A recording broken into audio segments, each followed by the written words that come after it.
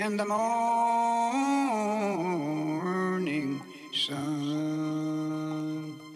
The birds are singing in the pines in